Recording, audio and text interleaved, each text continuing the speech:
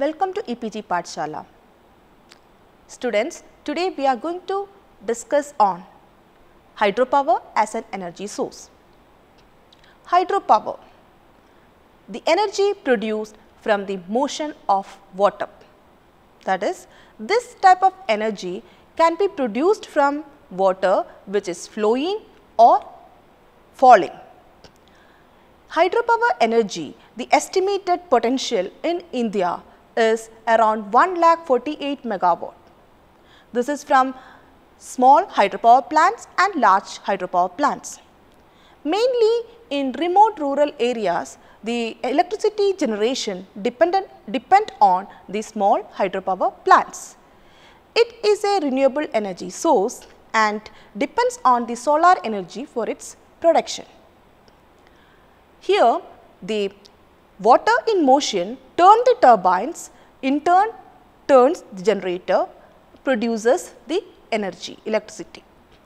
Hydropower is used for electricity production as well as the other purposes for drinking, irrigation, etc. In this module, we will be looking into the hydropower potential, how it is calculated, the principle of hydropower plant or the operation of the hydropower plant or how it is produced, how to classify the hydropower plant based on different criteria, what are the factors affecting the energy efficiency or energy production in hydropower plants. We will also see what are the components of hydropower plants and the different types and the benefits of hydropower plant along with its disadvantages as well as we will see the hydropower potential mainly focusing on Indian context. The word hydro derived from Greek word and it means water. So, hydropower is the energy contained in water that is the electricity or the energy produced from water is denoted as hydropower. It is a renewable energy source where power is derived from the energy of water using its gravitational force when it is flowing or falling. Let us see what is the principle of generation of hydropower. The water in motion has kinetic that is moving energy. When flowing water turns blades in a turbine, the form is changed to mechanical energy. The turbine turns the generator rotor which then converts this mechanical ener energy into another form that is electricity. So, in this hydropower generation, the water in motion that is the kinetic energy convert to mechanical energy, further this mechanical energy convert to electrical energy. So, hydroelectric power is generated by the flow of water through turbine turning blades of turbine, generator finally producing the electricity. Since water is the initial source, we call this as hydroelectric power or hydropower. Let us see how to estimate hydropower potential. It is estimated by equation power equals Q multiplied by H multiplied by 9.81 eta. P in kilowatt which is the power, Q is the discharge in cubic meter per second, H is the head in meters, eta is the overall efficiency. This efficiency is from the turbine, generator and gearbox. Normally 75 percentage is considered as eta value. The head is relatively constant in runoff river schemes except for variation in friction losses with varying discharge. In irrigation canal or dam to base scheme, head also vary depending on season of release of water as water level in the dam varies throughout the year. Weighted average is found out to design the head of the turbine. Design head is so selected that turbine is operated to maximum time giving optimum energy generation and the energy per year is calculated as E is equal to P multiplied with time, time in hours that is 8760 per year and the unit is kilowatt hour. For the run-off river hydropower scheme, it is useful to know the variation of flow over the year to select the most appropriate turbine configuration and estimated power generation. Flow variation presented in the form of a flow duration curve is most useful form. The firm power and secondary power could be easily estimated from the flow duration curve. Let us see the global scenario of hydroelectric power. The world's first hydroelectric power or the plant installed in 1882 at Appleton, USA. These are the major 10 countries which are leading in the hydroelectric power generation and India ranks 7th position among these. Let's see a brief history of hydropower generation in India. The first hydroelectric installation in India was in the Darjeeling Hills that is at Sidrapong in 1897 with a capacity of 130 kilowatt followed by Sivasamudram project in Mysore district of Karnataka in 1902. Also Mohra, Galoghi, Jammu, Karteri, Pullivasal, Jubbal, Chabba are other non-small hydropower stations and still they are working. These plants are mainly or the primarily used for the lighting purpose in most of these towns. Bhakra, Rihand, Hirakud, Periyar, Koyna, Sharavathi and Machkund are some large hydropower projects executed in earlier days in India. In India, hydropower contributes about 15.37 percent from large hydro and small hydropower. The estimated hydropower potential of India is 1,48,701 megawatt. Additional 6,780 megawatt are from smaller hydro schemes. Small hydropower projects are up to 25 megawatt capacity. The estimated potential of this SHPs that is small hydropower plants are 20,000 megawatt of which only the 4,341 is harnessed. The public sector accounts 92.5 percentage of India's hydroelectric power production. Some of the public sector companies producing hydroelectric power in India are NHPC, National Hydroelectric Power Corporation, Northern Electric Power Company, NEEPCO, Satluj Jal Vidyut Nigam, THDC Tehri, Hydro Development Corporation, NTPC Hydro, etc. The ministries dealing with the hydropower are Ministry of Power which are looking into the large hydropower projects while Ministry of New and Renewable Energy is responsible for the small hydro projects. Alternate Hydro in Energy Center IIT Roorkee was established in 1982 with the sponsorship of MNRE to help in the technical and HRD of the country. Ministry is aiming at at least 50 percentage potential of the country hydropower to be harnessed in the next 10 years. This map shows the hydropower plants in India. You can see the major one, the most of the potential is in the Himalayan state as the river based projects and other states on the irrigation canals. You can see the capacity of various uh, hydro power plants along with its location in this table. Let us see the components of hydropower plants. Major components of hydropower plants are dam, water reservoir, penstock, intake or control gates, powerhouse, turbines and generator. Dam is the most important component of hydroelectric power plant. It is built on large river with has abundant quantity of water throughout the year. It should be built on a location where height of the river is sufficient to get maximum possible potential energy from water. Next component is the water reservoir, the place behind the dam where water is stored. Water in the reservoir is located higher than the rest of the dam structure. Height of water in the reservoir decides how much potential energy the water possesses. Higher the height of water, more will be the potential energy. The high position of water in the reservoir also enables it to move downwards effortlessly. The height of water in the reservoir is higher than the natural height of water flowing in the water. So, it is considered to have an altered equilibrium. This also helps to increase overall potential energy of water which helps ultimately produce more electricity in the power generation unit. Intake or control gates. These are the gates built inside the dam. Water from reservoir is released and controlled through these gates. These are called inlet gates because water enters the power generation unit through these gates. When the control gates are opened, the water flows due to gravity through the penstock and towards the turbine. The water flowing through the gates possesses potential as well as kinetic energy. Penstock is the long pipe or the shaft that carries the water flowing from the reservoir towards the power generation unit and it comprised of turbines and generator. The water in the penstock possesses kinetic energy due to its motion and potential energy due to its height. The total amount of power generated in the hydroelectric power plant depends on height of water reservoir and amount of water flowing through the penstock. The amount of water flowing through penstock is controlled by control gates. So, a hydropower plant comprises civil components and hydroelectric components with hydromechanical and hydroelectrical equipments. Let us see these parts in detail. Diversion structure or reservoir. We have already seen some of the function of reservoir.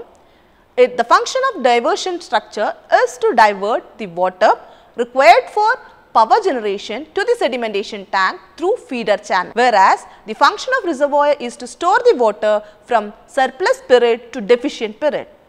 Reservoir or diversion structure may be built on surface. Structure design should be safe against sliding, overturning, etc. Desilting device for run-off river type schemes, desilting devices are provided in the water conductor system as diverted water carries sediments as may damage the turbine parts, penstock and other components due to abrasion. In the desilting devices, the incoming velocity of water is lowered by increasing the cross-sectional area of desilting device thereby effectively allowing the sediment of particle. Power channel is the one which carries water from source to forebay tank. The main function of this channel is for water conveyance and also to sometimes take water, take the surge of water. The power channel may be lined with concrete to prevent the loss of water due to seepage. The shape of power channel may be rectangular or trapezoidal. The forebay is a small storage pond located in between power channel and penstocks.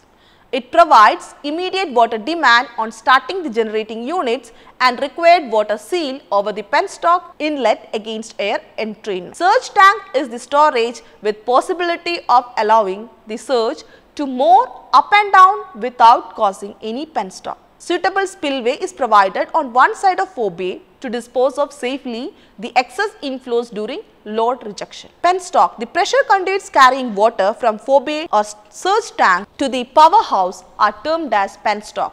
These are required to bear maximum water pressure including water hammer which occurs due to sudden closure of inlet valve. They are quite costly and important part of a water conductor system.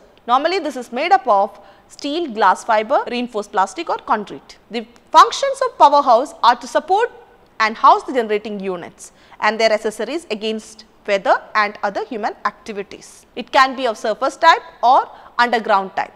Tail race channel after passing through the turbine, the water is discharged back into the stream through a short channel called tail race. The tail race channel is to be designed such a way that minimum tail water level is required to maintain safe suction head for smooth operation of the turbine.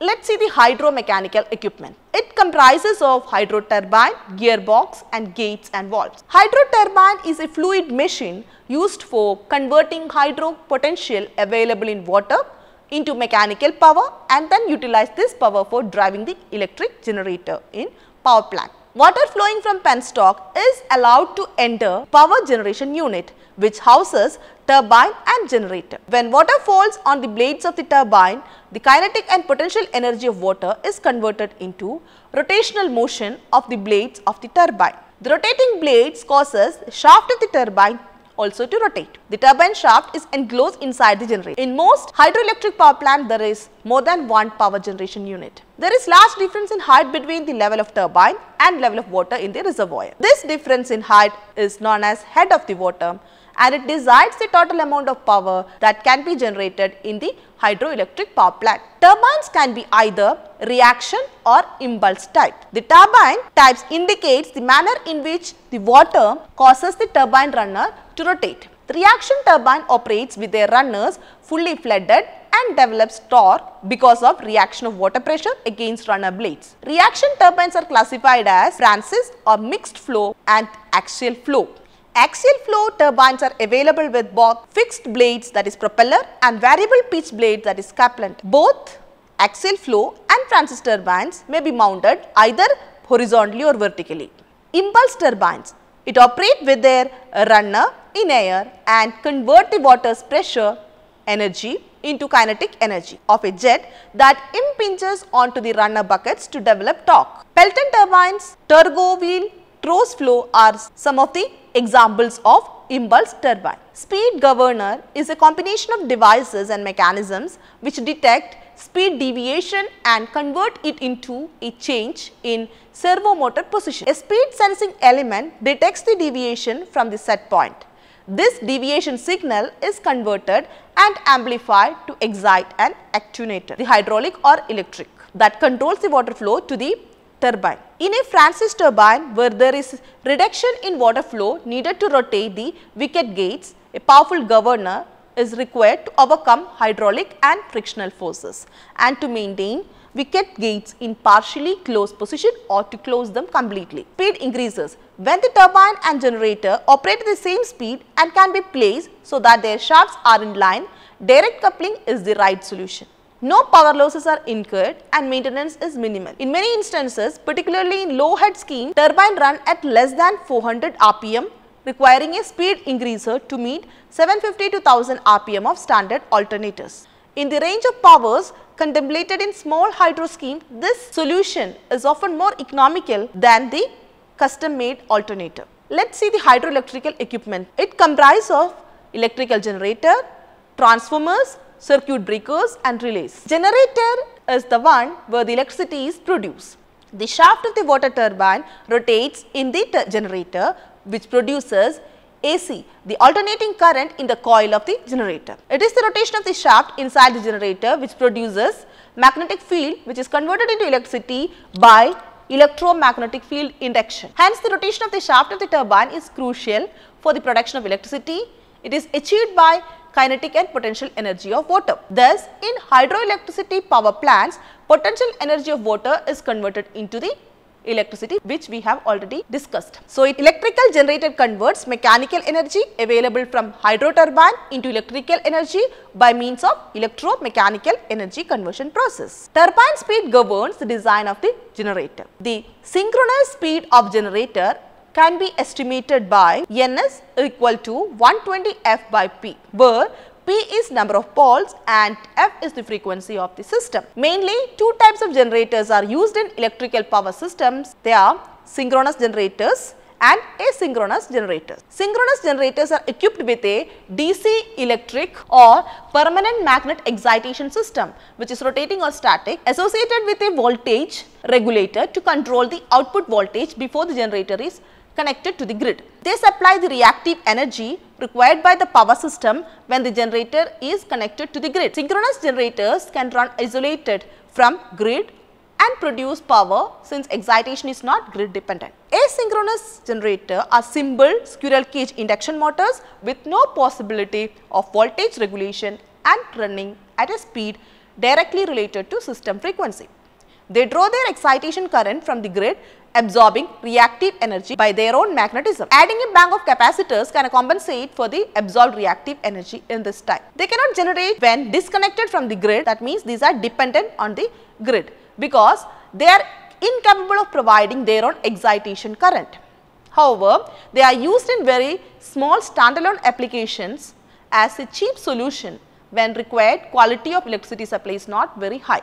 In synchronous generator speed is kept constant whereas in asynchronous generator this speed is varying. Transformers is a static device used to transfer electrical energy from its primary to secondary side by stepping up or stepping down the voltage. Step up transformers are used at power stations to step up the generated voltage for the purpose of transmission transmitting higher voltage over long distance has many advantages like low power transmission loss, reduction in cable and insulator size, low cost, etc. Step down transformer are used at distribution and to step down the voltage according to requirement of users. Instrument transformers are used to measure high voltage and high current in electrical power systems. Mainly current transformers and voltage transformers are used for this purpose. Circuit breakers. It is a protective device which protects electrical networks from faulty condition. The main purpose of circuit breaker is to isolate the faulty parts from the networks so that fault is being localized. Earlier fuse was used, now it is being replaced by this circuit breakers. Relay is also a protective device which used to sense the abnormal condition in the electrical system. Whenever abnormal condition occurs, relay operates by closing its contacts to give the signal to circuit breaker for opening circuit breaker contacts thereby fault is isolated. Powerhouse is to protect the electromechanical equipment that converts the potential energy of water to electricity from the weather and provide a place for carrying out operation and maintenance activities. The number, type and power of the generating units, their configuration, the scheme head and topographical condition of the site determine the shape and size of the building. The layout may differ from project to project as per site condition. The powerhouse comprise of machine hall having main hydro generating equipment turbine, governor and generator. Service bay to carrying out erection and maintenance activities. Control room having control panels, relay and tail race for water exit. So, the equipments which are placed in the powerhouse building are inlet gate or valve, turbine, speed increaser, generator, control system, condenser, switch gear, protection system, DC emergency supply, power and current transformers. Let us see the classification of hydropower plants. Hydropower plant classification based on the capacity vary from country to country. In India, the classification depending on the capacity is into micro, mini, small, medium and large hydropower plants. Micro is up to and below 100 kilowatt, mini type is up to 2 megawatt, small is up to 25 megawatt, medium is up to 100 megawatt and large is above 100 megawatt. There is another one pico-hydel plant which is having a capacity less than 5 kilowatt. It is mainly for the individual homes while the micro-hydel plant that is having less than 100 kilowatt is for the rural community. Mini hydel plant that is between 100 to 1000 is mainly meant for towns. Small hydel plants with 1 to 25 megawatt is for small cities. Large hydel plants are mainly for the large cities which are having the more number of persons or high, highly or the population is high or densely populated cities. So, the hydropower plants is classified based on the capacity into micro, mini, small, medium and uh, large. It is also classified based on head available into ultra low head which is below 3 meter height, low head which is between 3 to 40 meters, medium head which is between 40 to 75 meters and high head is above 75 meters. It is also classified according to operation and type of flow into three categories runoff river, storage reservoir type, pumped storage, hydropower plants. In addition to that, in-stream technology also one of the category based on the operational type which is a new one. So, these hydropower plants vary from very small to very large scale depending on hydrology and topography of the watershed. Based on the direction of flow, the first category is runoff river scheme. These are hydropower schemes in which available water is diverted from stream for hydropower generation. Such a hydropower plant generally includes some short term storage that is hourly, daily or weekly allowing for some adaptations to the demand profile. These plants are normally operated as base load power plants. A portion of river water might be diverted to a channel pipeline which is penstock. We have already seen what is a penstock to convey the water to hydraulic turbine which is connected to an electricity generator. The installation of this plant is relatively cheap and in general only minor environmental impact is observed under the scheme. The reservoir type in order to reduce the dependence on the variability of inflow, many hydropower plants comprise reservoirs where the generating stations are located at the dam toe or further downstream through tunnel or pipelines as per electricity or downstream water demand. These are mainly situated in the river valleys. Most of the time these dams are constructed in the river for desired use like irrigation, drinking, flood control etc. Pumped storage plants pump water into an upper storage basin during off-peak hours using surplus electricity from base load power plants and reverse flow to generate electricity during the daily peak load period. It is considered to be one of the most efficient technologies available for energy storage. The excess electricity in the grid is usually the generation of thermal power plants or other renewable energy source like wind or solar. In-stream technology using the existing facilities is to optimize existing facilities like weirs, barrages, canals or falls. Small turbines can be installed for electricity generation. Smaller falls are also available on cooling water, return channels on thermal power stations, drinking water and sewage channel after the treatment. This is basically functioning like a runoff river scheme. Now, what are the factors affecting energy production in a hydropower plant? The potential for energy production in a hydropower plant is determined by amount of water available, water loss due to flood spill, bypass requirements or leakages, the difference in head between upstream intake and downstream outlet, hydraulic losses in water transport due to friction and velocity change and efficiency in energy conversion of electromechanical equipment.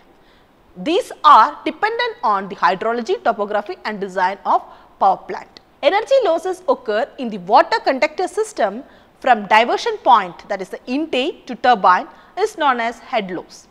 It reduces the head and hence the energy potential for the power plant is also reduced. These losses are classified either as friction loss or singular losses. Friction losses depend mainly on water velocity and the roughness in tunnels, pipelines and penstocks. The total efficiency of a hydropower plant is determined by the sum of the three loss components. These losses can be reduced. Hydraulic losses can be reduced by increasing the turbine capacity or by increasing the reservoir capacity to get better regulation of the flow. Head losses can be reduced by increasing area of head race and tail race, by decreasing the roughness in these and by avoiding too many changes in flow velocity and direction. Different turbine types have quite different efficiency profiles when the turbine discharge deviates from the optimal value. The benefits of hydropower. Hydropower is a renewable energy source. This power has among the best conversion efficiency of all the non-energy source of renewable category. It has about 90 percentage efficiency. Hydro storage capacity can mitigate freshwater scarcity by providing security during lean flows and drought for drinking water supply, irrigation, flood control and navigation services apart from the energy production. These plants do not consume the water that drives the turbine. So, the water after power generation is also available for various other essential use. It can serve both in large centralized and small isolated grids and small scale hydropower and is an option for rural electrification. So, it is a clean fuel, it is fueled by water and it is not producing any other toxic products. The small projects have potential to meet power requirements of remote and isolated areas and we have seen that it conserves the fossil fuel, it is a substitute to thermal power plants thereby reducing the carbon emissions since this works on the water. Hydropower relies on the water cycle which is driven by the sun and so it is a renewable power source and as a clean fuel energy source. Hydropower is generally available as needed it is possible only when engineers control the flow of water through the turbines to produce electricity on demand.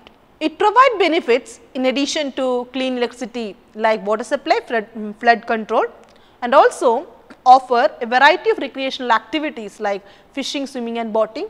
It requires relatively high initial investment but long lifespan with very low operation and maintenance cost are the advantages of hydropower. But the disadvantages are it is harmful to riparian that is river bank habitats.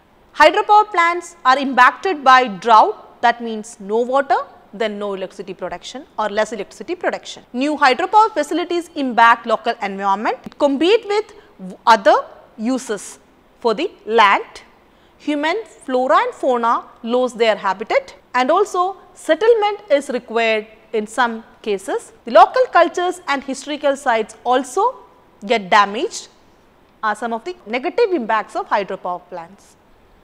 To conclude, hydropower is the energy produced from moving water. It is produced from the water in motion by rotating the turbine, in turn rotating the generator producing electricity. In this process, kinetic energy converted to mechanical energy further converted to electrical energy. We have seen the hydropower potential, how to, how to estimate hydropower potential. The hydropower P is equal to QH multiplied by 9.81 eta. We have seen different components of hydropower plant civil components, hydro mechanical equipments and hydroelectric equipments. In this dam, reservoir, penstock, turbine generator, etc. are the most important component. We have classified the hydropower plant based on the capacity into mini, micro, small, large etc. And also we classify it based on the head like ultra head which is having a head uh, or the height of less than 3 meter, very low which is having 3 to 40. Then we have seen the large ones which are having greater than 75 meter. We have also seen the classification based on the we have also seen the classification according to the operation or the flow of water like runoff river, storage or reservoir type or the pumped storage type. Also we have seen a new one in stream technology for the harnessing of the hydropower energy or hydropower. We have seen the benefits, benefits of hydropower as a renewable energy source and mainly the water which is used to run the turbine can also be used for the other purposes since it is not lost and it is considered as a clean fuel. But it has some disadvantages like it loses or it creates negative impacts on the riparian habitat. It may lead to the settlements. Thank you.